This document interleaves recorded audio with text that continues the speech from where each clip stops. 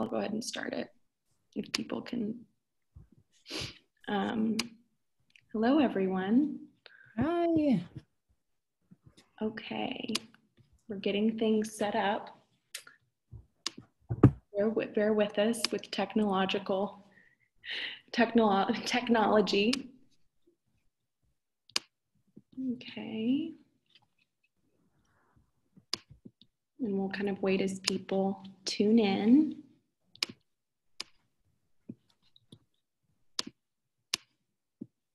And I'm syncing this to go live on Facebook as well, so people can watch via Facebook. I may have to.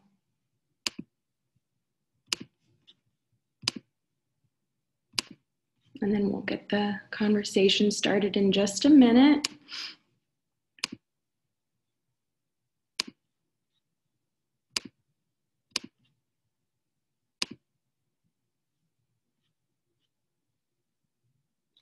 Our first, Channing has been doing a lot of um, recent Zoom lives, all sorts of press things that are all happening virtually.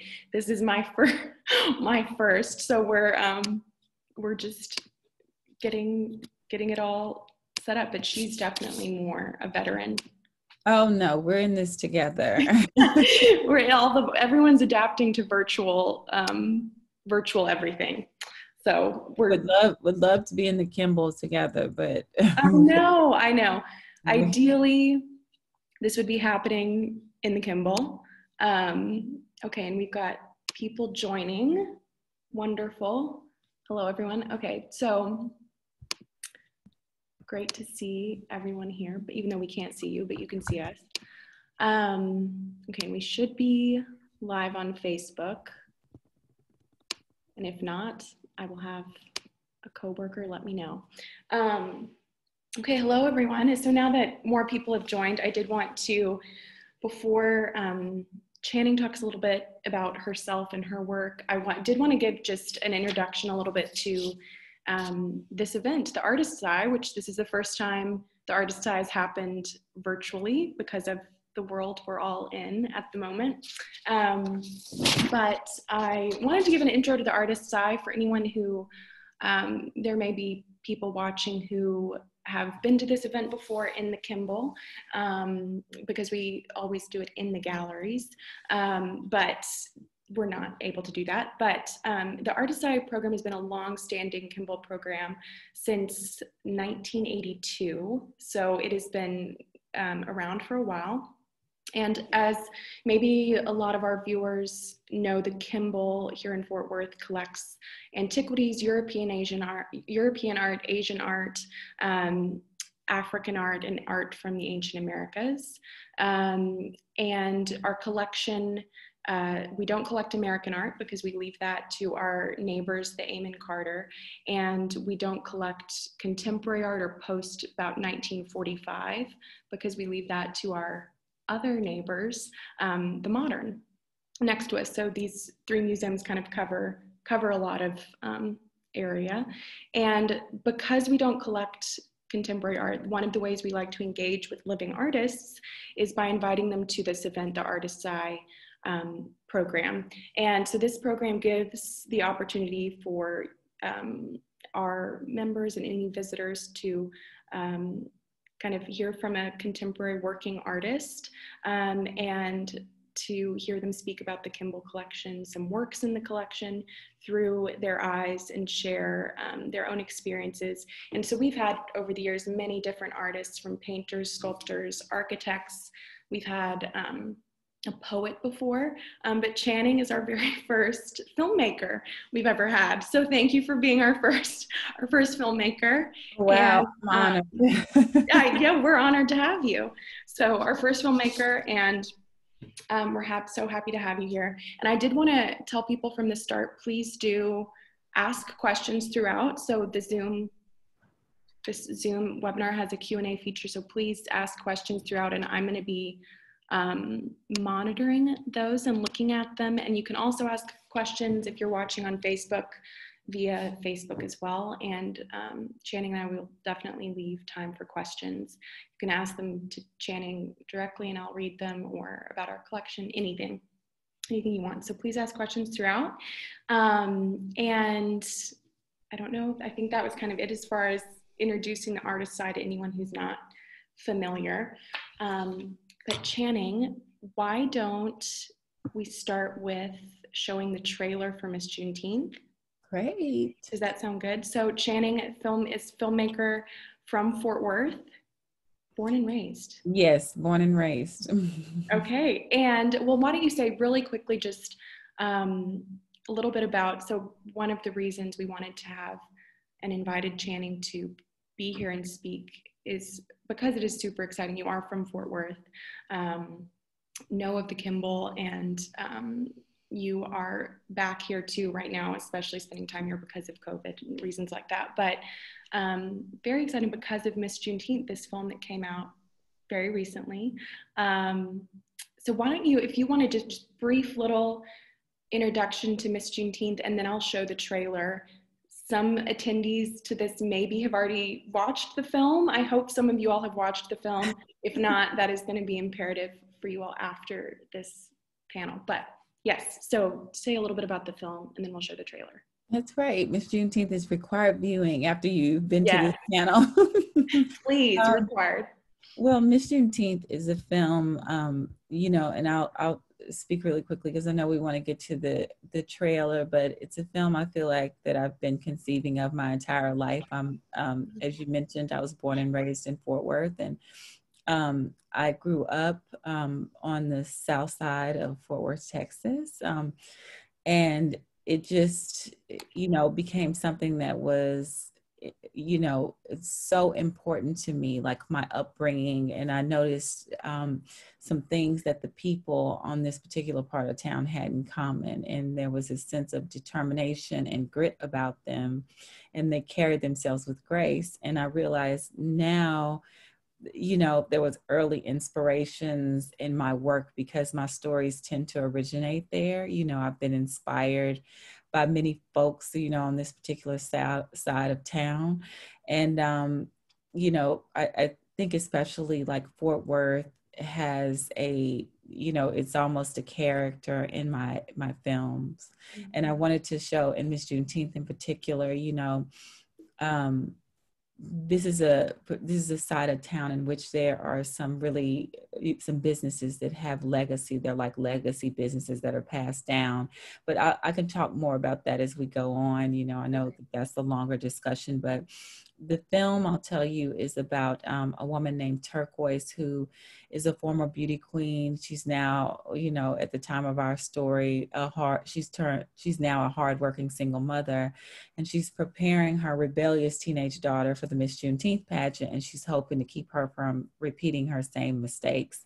And um, if you want to run the trailer, we can also talk a little bit more later about, you know, what the Miss Juneteenth pageant is. You know, I'm talking to the hometown crowd. Yeah. So, you know, I probably don't have to give as many details on what that is, but I'm excited for you all to see um, the way I was able to bring it to screen. Yes. Okay, great. Thank you for that. And yes, I hope I'm sure a lot of this is hometown crowd um, watching. So let me pull up the trailer. Thank you all for bearing with me with. Um, okay, and then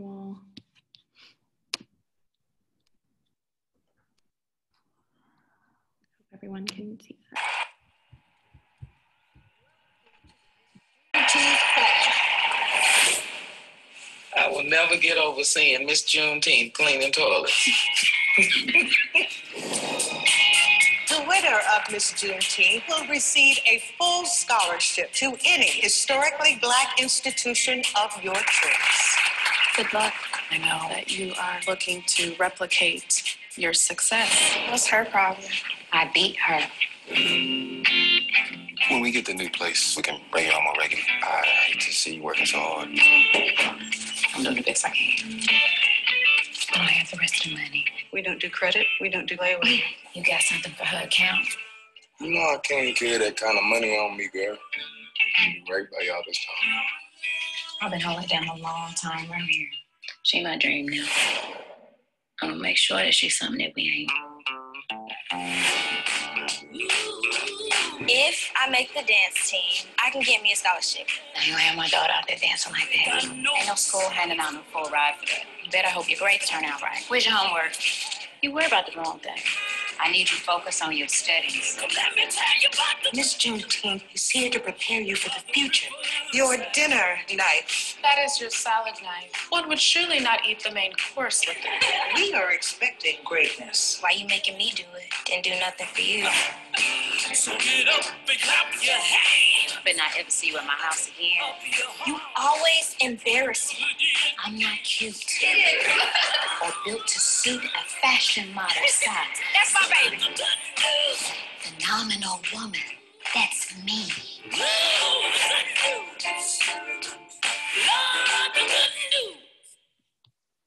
Great. Okay. Um, okay. So that was great to watch again. Um, so we, so I wanted to show that in case also, you know, some people who are watching have not seen the film yet to just give you, give them a taste of your work. Um, and this is your first feature film, which is also incredible because, um, which maybe some people know, it has been getting all sorts of press. The press is very exciting um, around this film, and it was released on Juneteenth of this year right? Yes. Uh huh. Yes. The U.S. release was um, June 19th of this year on Juneteenth, which was really special. And then we actually released yesterday in the UK and Ireland. So, you know, feel really lucky about that. Yeah. And I'm sure making I'm Fort Worth proud and this community proud because it has been getting um, national acclaim, incredible reviews, and one already an article saying it's an Oscar contender. So all very, very exciting um, news for you. And just sample of your work. And again, people need to watch it as well. But um, wanted to start with that. And then I wanted to pull up, I'll go ahead and pull up our some slides that um, put together with Channing of our current collection um, installation as well. So let me do that. And someone's asking about where to where can I see the film today? Um, it's on video on demand and digital, so places like Amazon and Apple. Yes. Um, it was in virtual cinemas, but I think it's leaving many of them now. So those are the two places that I can think of really quickly. And yes, we filmed it here in Fort Worth. All filmed here in Fort Worth. okay, so pulling up um, PowerPoint. Hope everyone can see that. Um, yes, the film is on Amazon, all of that. So yes, um, definitely watch it. So I wanted, so Channing um, was able, I kind of have showed her a virtual walkthrough of our current installation here at the Kimbell.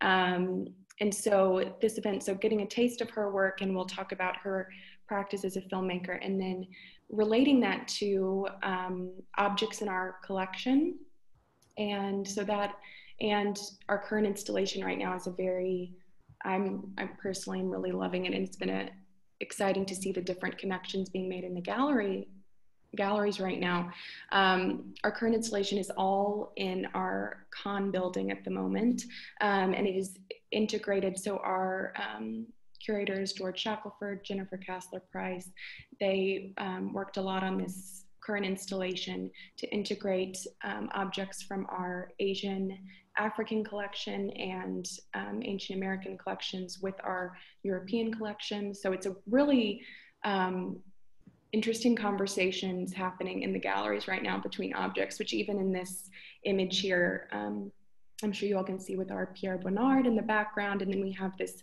um, wonderful um, ancestral warrior figure in the foreground, which is one of our African objects.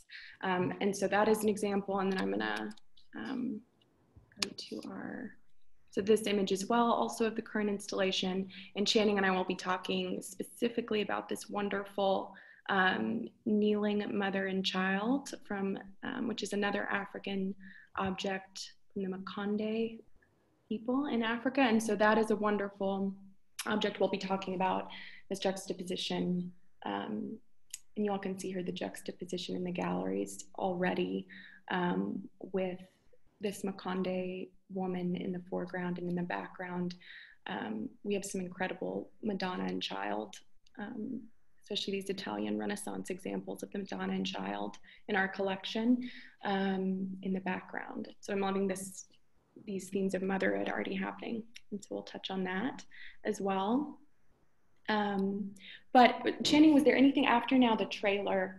Um, if you wanted to kind of talk a little bit more about um, your practice as a filmmaker and what you're inspired by visually.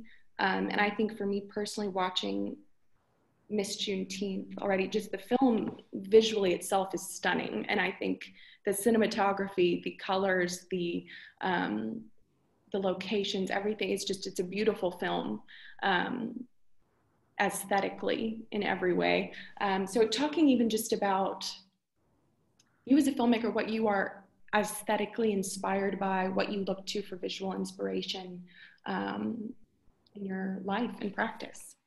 Yeah, I mean, it's interesting because I think as a filmmaker and as a human being, I'm always, you know, searching for the truth. And so authenticity is probably, um, for me, the most important part of my work.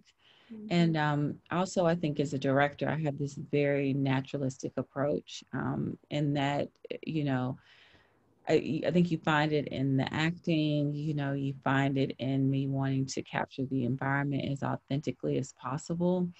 Um, in this particular community, it was a community that I knew so well, obviously, you know, because it was a community that I grew up in. And so, you know, it, I think it was both of a both a blessing and a curse because I wanted to like portray it as accurately as possible. And even in writing the script, there's so much of the world that I wanted to show, mm-hmm. just because I knew the world so intimately. And um, at some point, you know, you realize as a filmmaker that you can't like you can't have every single aspect of the world in it, especially when you're navigating this, you know, the central character's journey, mm-hmm. and you have to be in service of her journey. But I tried to get as much of the world in as I could, and I always try to um, layer storytelling in every single aspect of the filmmaking, and that's in the cinematography that you've talked about. Um, that's in the production design and the, the costume design, and you know even their their hair is telling a story in this film. So you know it's important for me to try to do that, and I think that's because um, I really was um, into literature growing up and i really loved like the stories of like toni morrison and alice walker you know um, and all these different literary greats that were telling stories especially about um, really complex stories about black women and their journeys and i think it was very inspirational for me. I mean i think another thing that was inspirational for me and you know maybe some people will remember this but when i was growing up there was a um, small theater on the south side of fort worth called sojourner truth mm-hmm.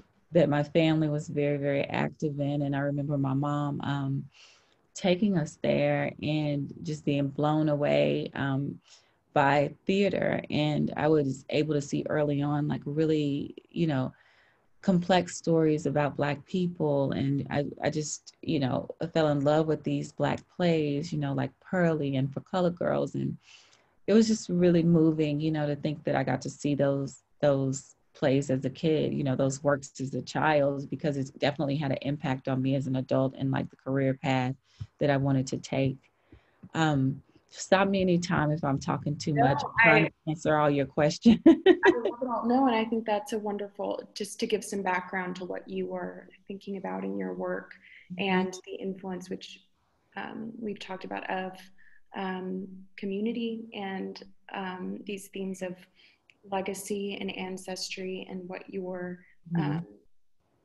hoping to show, especially with the representation of Black women, um, especially in this film and that being and again your first feature length film where you wanted that to be um, highlighted. And i think and maybe we can kind of um, and so i love this image so much.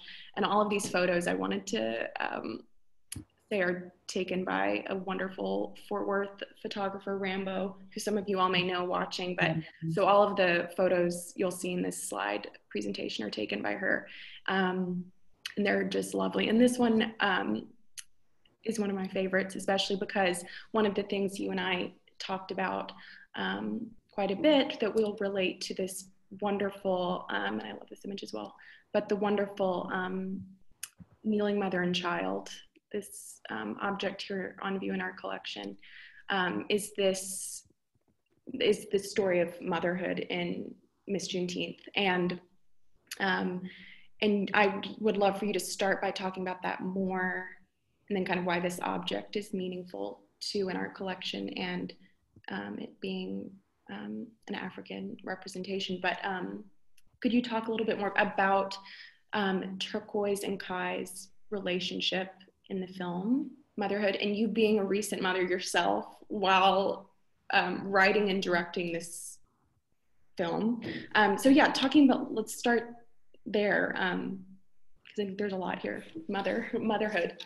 Yeah, um, I see a question from George too, just asking about um, kind of my journey and how motherhood affected my work. Um, you know, I knew that I wanted to tell this story um, about a, a, mother and daughter, and both were navigating their own dreams and their ideas for themselves.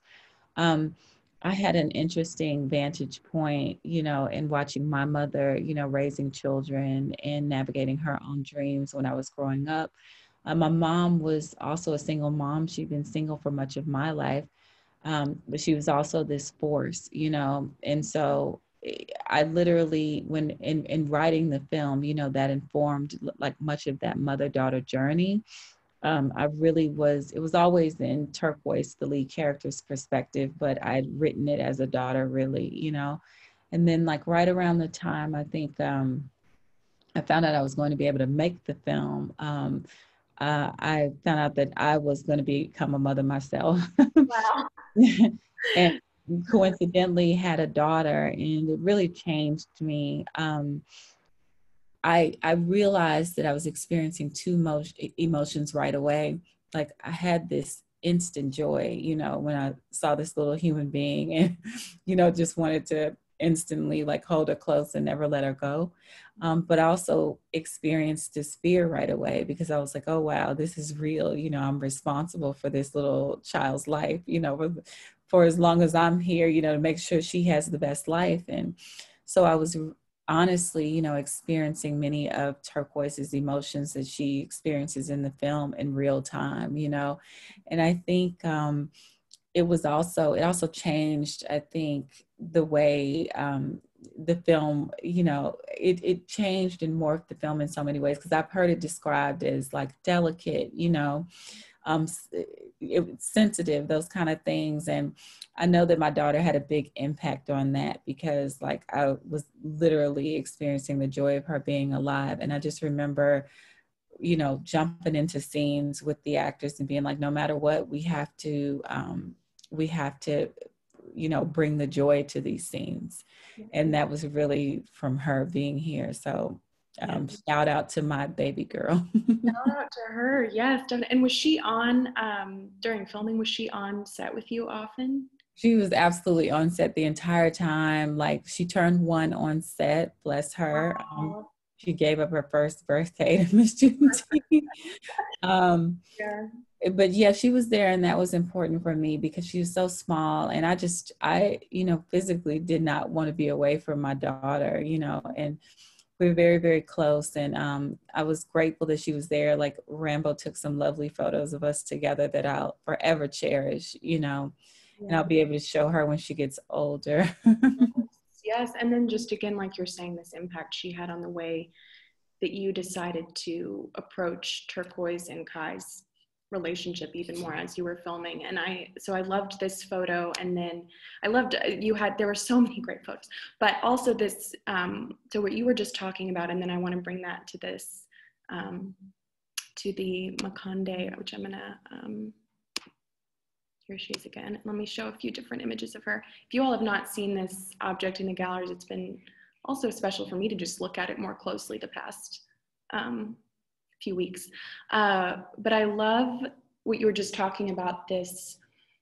And one, so turquoise in the film, this, you know, she is incredibly, she's loving and tender with Kai. And then there are these moments where she is working working so hard and supporting her daughter and this um, this that kind of tension in motherhood. And i love this um, also picturing you with your daughter on set but this kneeling mother and um, let me go back. So if you all can see on these images and i'll go to our um, i can go to our website as well and look a little closer but you'll see the um, baby in a sling on the back of the mother um, carrying her which is you know the traditional way of carrying the child. And then her hands are still free in front. And so this idea of this um, and you were saying earlier to me, you've been doing that with your daughter. Literally, she's been on your back and you've been carrying her around uh, the house often. But um, the tenderness and care and protectiveness of this imagery and with mother and that idea of motherhood, but then the tension of two, um, what's required of her in working. And for Turquoise, especially in the film, um, a lot is required of her and demanded from her that she's Yes, this is such a um you know strong this resonated with me because it, it and it's such a strong work because you know you literally uh, see a mother like with the, her child on her back but she's continuing to find a way to work mm-hmm. and that was always you know a factor for me i think right around the time i found out i was going to have my daughter obviously said you know i found out i was going to be able to make the film and it's like there are these there's this decision all of a sudden it's like i've got to keep moving forward you know um, as a person who has been working you know in this in the arts for a long time and you know you see these opportunities happen. And so i need to go ahead and um, make this opportunity happen not only for myself now but um, for her future as well. And um, you know turquoise is navigating many of these things in the film. You know she has this dream that at one time was an individual dream for herself. Um, and it's a dream that, you know, in the film is been deferred, but it's not been denied ultimately. But she has to make a decision to find a way to reconcile that dream. So like when I see this piece of work, it speaks to me because it says, you know, that we find a way with our children to keep moving forward and we find a way you know to provide for them and to like keep them close at the same time. And that meant so much to me because that that was what i had to find a way to do on miss juneteenth you know. Um, i was like i wanted my daughter close to me but i also had to find a way to you know keep her safe at the same time. Mm, yes exactly. And i think um, I can see why this piece would be meaningful in that way, and the way that you and I'm not a mother myself, but the way that you depict motherhood and show this kind of often it seems like impossible um, tasks that mothers are required of. And I think too here, I loved so one of the you know neat things in our gallery right now is this juxtaposition where we have behind this Makonde mother um, these three images of the Madonna and Child, Italian Renaissance images, and um, which are, you know, religious images showing a divine kind of motherly relationship. Um, and I just love that the Makonde also being very real and relatable, yet also in her own way having divine qualities because of that realness and relatability with the reality of that tension and the work and the hard work and then the child being this protecting force um, and the mm-hmm. images in the background kind of highlight that for me in this object um, mm-hmm. that she herself kind of has these divine qualities that you know the virgin mary often in these images has um, it made me look at it in a new way in that and how the motherhood, that idea of culturally motherhood and images of mothers just trans, transcend every culture and their images of, um, we can all think of the mothers in every culture. Um, everything. So. Yeah, um, totally. And, and that's what I think, you know, the film is very specific to this particular, you know, community and, you know, growing up as a black woman in this community. And, um, you know, people have asked, you know, what people from other cultures can like take from the film. And you know we've released now as i mentioned earlier in the uk and ireland. And people are really connecting to you know many of the themes that are universal to us all. And you know one of the strong themes that runs throughout really is you know mother and child. And that's why this um, sculpture really spoke to me. Mm-hmm. um, also i just and when you talk about it you know divine like when i looked at it i was like you know it, this it really does feel divine because there's a divine connection that i couldn't even explain in becoming a, a mother you know with my daughter.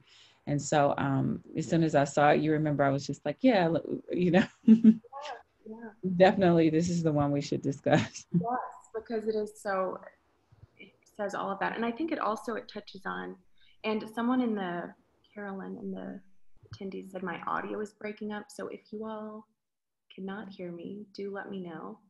Um, I'm not sure what I'll, but hopefully you all can hear me okay. Um, they said they can hear you, Channing, so I'm not, I don't know what's happening on my end.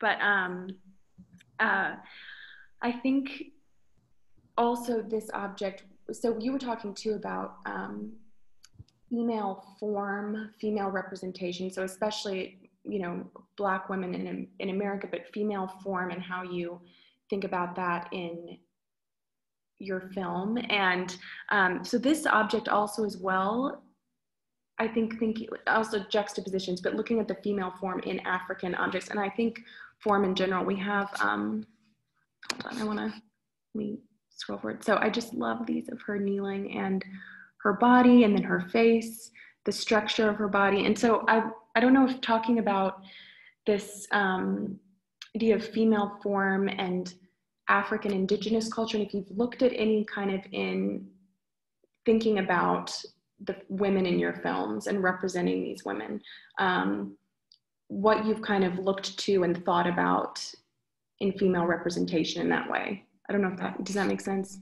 Yeah, it's interesting because you know, really, um, representation has always been, you know, so important. Like I was mention- mentioning earlier, that like um, I was really into literature, especially by, you know, these literary greats that happen to be Black women, you know, and so I had a different appreciation. Like, um, I missed seeing that representation in cinema, but I didn't feel a void in particular because I found it in literature. But I think in doing that, you know, I would visually like see pictures in my head, and I wanted to find a way to bring that to cinema.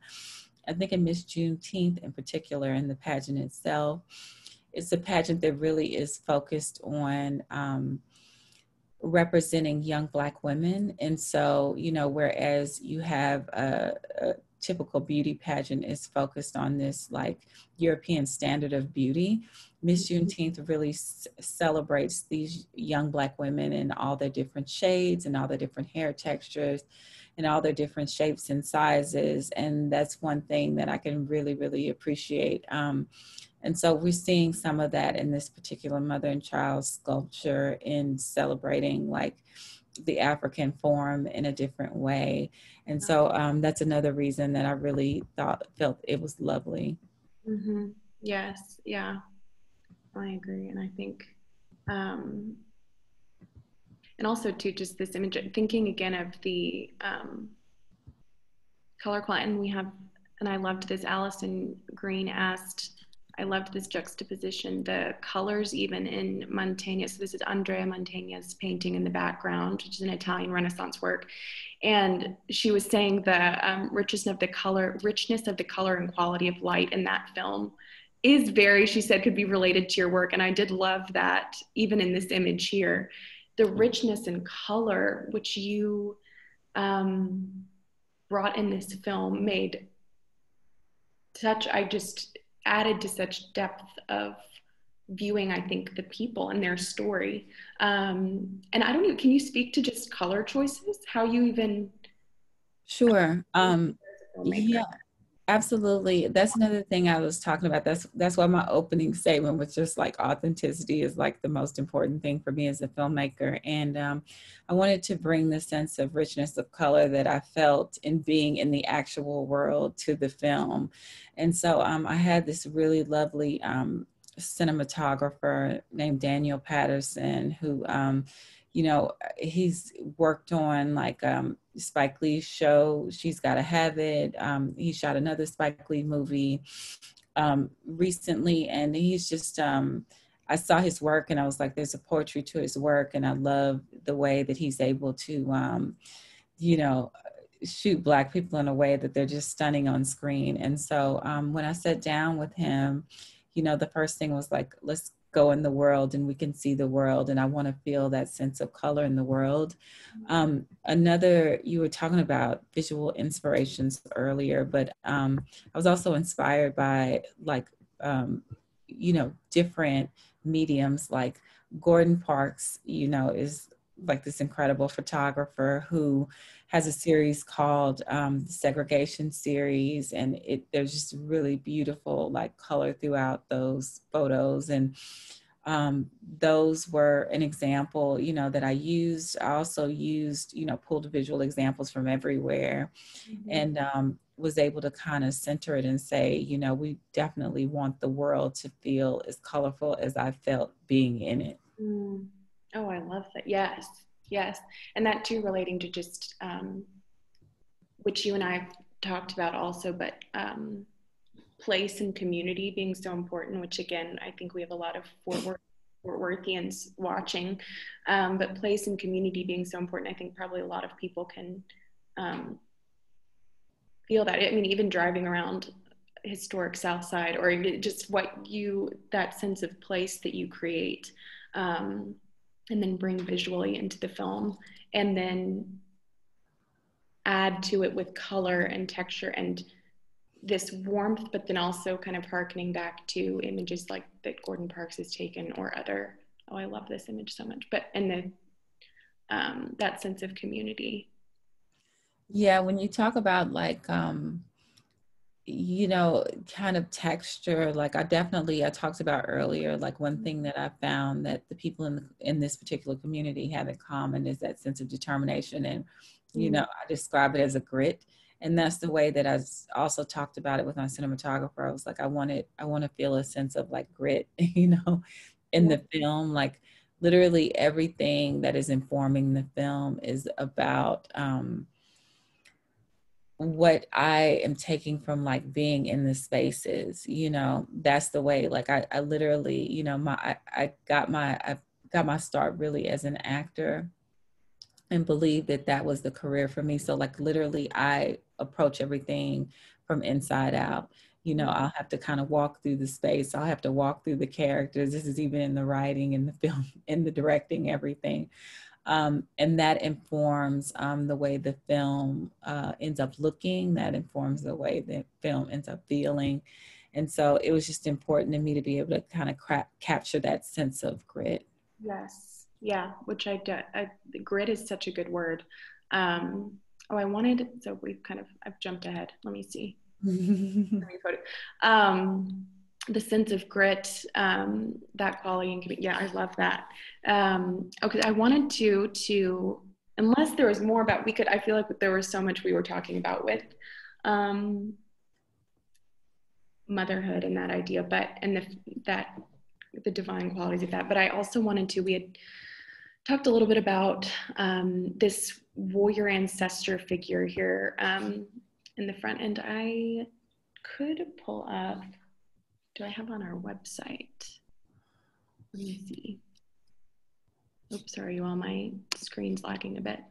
But anyway, this this object here, this warrior ancestor figure from our African collection, um, is also really incredible. And I wanted, looking at its um, qualities, even just the, the wood qualities in comparison to the Makonde figure, but this idea of determination, strength, steadfastness seen in this diff, this other object, um, and it's more kind of abstracted features, the um, the qualities in the wood that are obviously just um, over time it's being seen. But there's kind of this poignancy about this object and its tarnishness, and um, I wanted to speak a little bit about. And it's kind of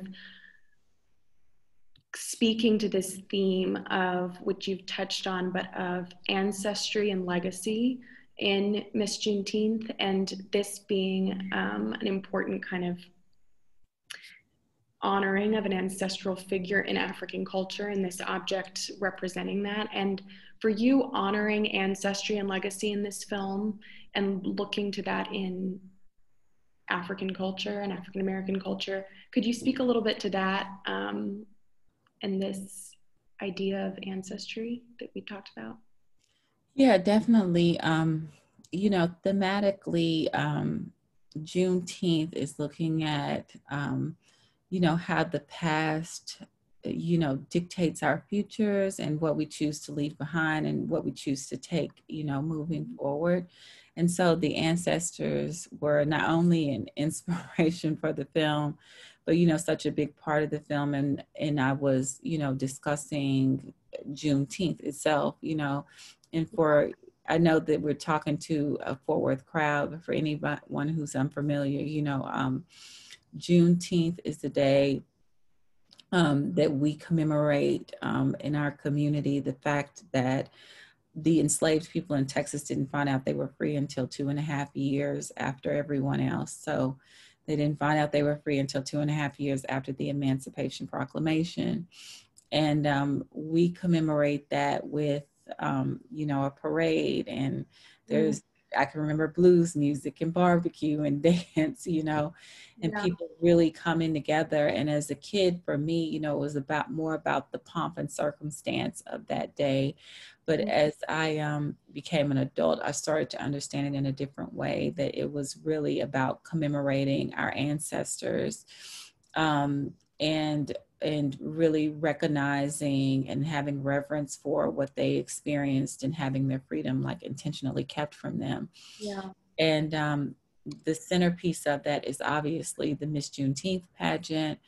And that was always really formative for me because, you know, I was talking about representation earlier. And as a young Black girl growing up in Fort Worth, Texas, I got to go to a, you know, actual pageant where you have all these, you know, beautiful young black women yes. like here uh-huh. um, that looked like me. So it gave me a sense of confidence. And um, I, I just realized now that that's why it was, it resonated with me so strongly. And it's something that I wanted to tell a story about all these, you know, years later.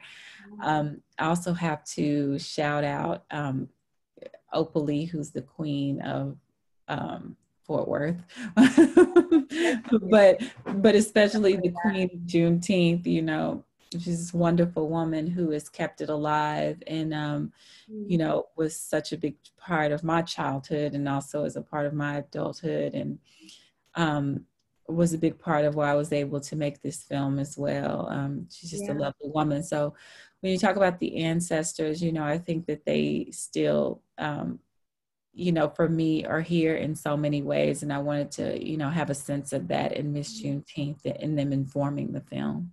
Yeah.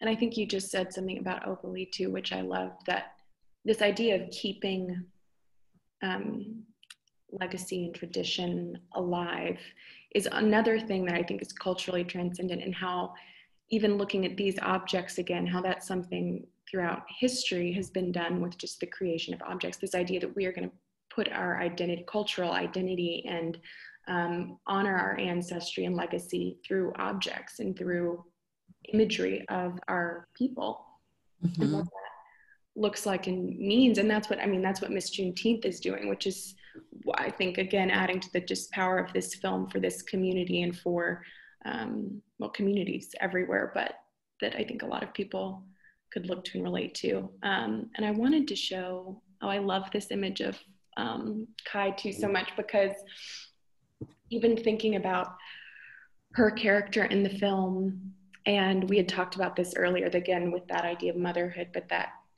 tension of the mother being this protector, overseer, and then Turquoise having this idea of what she wants to carry on in legacy, and um, Kai then also coming into that, but then trying to find her own authentic voice in it. Um, mm-hmm. And I don't know if you could speak a little bit, but how she adapted her own mother's. Could you talk a little bit about that in the film? I loved that. Um, how she adapted what her mother did in the pageant. Yeah, you know, um, I don't want to give away too much because I know some people have. Wait, I know maybe that is giving away too much. um, but but I do, you know, Kai is, you know, for me, she was representative of, you know, this idea that I feel like, um, you know, especially, you know, we're navigating like so many tragedies right now in the Black community. And, you know, there's always a question of what it means to survive as a Black person in America. And um, I don't even know if we're at the point in which we could have conversations about what it means to thrive yet, because we're still navigating our, our, our own survival, you know? And um, I really wanted to be able to have a conversation about, you know, what it means for Kai to really be able to have a sense of, um, of being carefree as a kid, you know, like what is her like dream in the world and how can she connect to that dream and be able to find an individual way to interpret that dream, you know. And she's also navigating her mom's expectations, and her mom's expectations are based on um, Turquoise's own dream that she had at one time that didn't work out in the way she expected it to.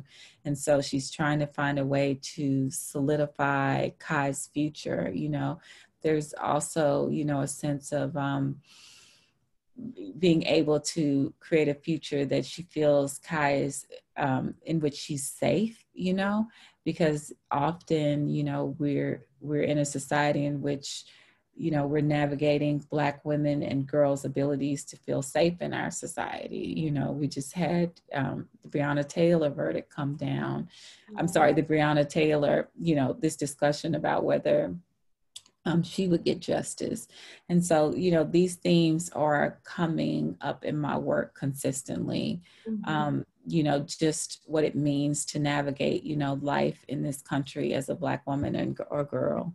Yeah, no, thank you. That, yes, exactly. And I think that her character is very um, moving in that way, of what you're saying, um, and her trying to find her own voice um, as well, but yet in such still intention often.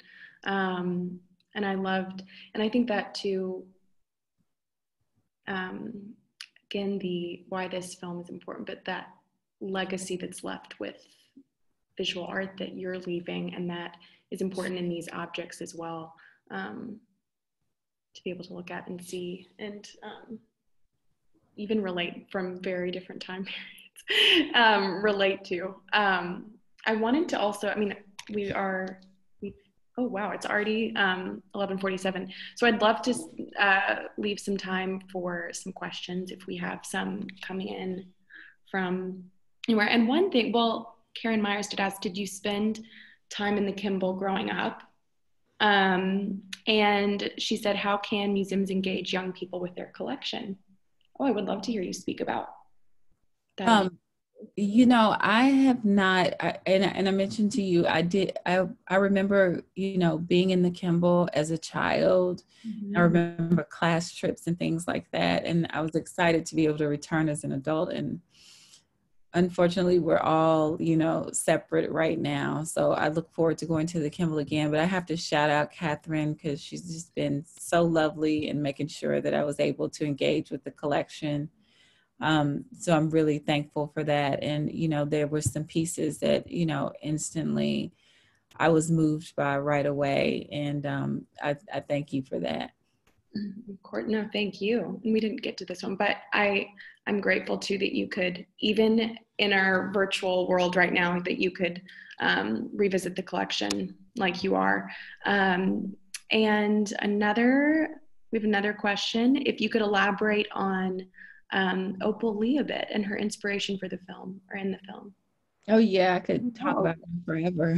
yeah, I know. I'm sure you could, but we uh, yes. Yeah, it, and you all should see the film if you haven't, because she has a cameo in the film, which I feel really lucky to have been able to capture that. But um, she's definitely when we talk about um, you know, what it means to be a warrior. And like, you know, we're talking about this warrior ancestor, ancestor figure, you know, um, thankfully, she is um, she is a living warrior in here with us. But like, she's one person in particular that when I talk about, you know, what's inspired, I think the turquoise character is, you know, women that I saw growing up who were determined. And I talked about them carrying themselves with a sense of grace, you know, that was inspired by like my mother and grandmother and aunts and women in the community.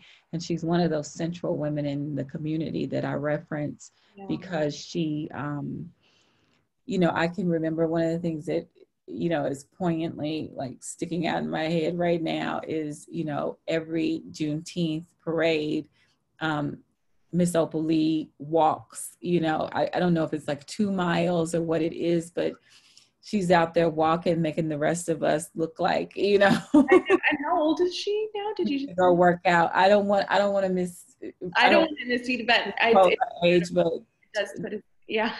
You know 90 plus i think. Yes. um, I'm sorry, Miss Opal Lee, if I don't know right on the, the dot. I'm just, you know, when I start thinking about you, I get overwhelmed and this, the details just go out the window. But she's um she's just such a lovely woman. And when I went to her and said, I want to um, make this film, she said, absolutely. And then she put um, me and my husband, who's my creative partner, she put us both to work. So yes, I love it. That's so good. Um, Someone says she's ageless. She is ageless. Yes, thank you, Lori. She yes, she, she is, and she's a, she's a treasure, and yeah, we're you know grateful to um you know be among her at this point. So thank you. yes.